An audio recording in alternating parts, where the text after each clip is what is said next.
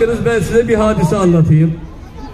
Selamı vermekle alakalı bir de bu selam yani dua dedik ya bu dua ile birlikte kat kat sevaplar artıyor. Efendimiz Peygamber Efendimiz sallallahu aleyhi ve sellem arkadaşlarıyla bir gün birlikteyken birisi geldi selamun aleyküm dedi. Peygamber Efendimiz sallallahu aleyhi ve sellem ve aleyküm selam dedi.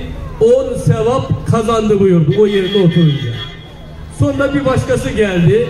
O da Esselamu Aleyküm ve Rahmetullahi dedi. Efendimiz sallallahu aleyhi ve sellem de ve aleyküm selam ve rahmetullah buyurdu.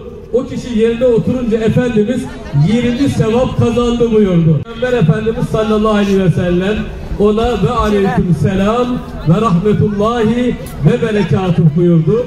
O da geçti yerine oturdu. Peygamberimiz 30 sevap kazandı buyurdu. Demek ki sevapta da ne kadar fazla ilgi olursa, alaka olursa, ne kadar fazla karşı tarafa duada biraz fazlalık olursa o kadar sevap olmuş oluyor.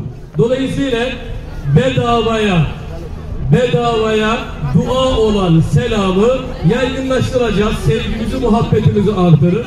Birbirimize karşılaştığımız zaman selamun aleyküm diyeceğiz. Eve girerken selamun aleyküm diyeceğiz.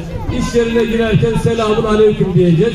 Velhasıl birbirimize karı koca, çoluk çocuk, eş, dost, arkadaş birbirimize selam vereceğiz, dua etmiş olacağız.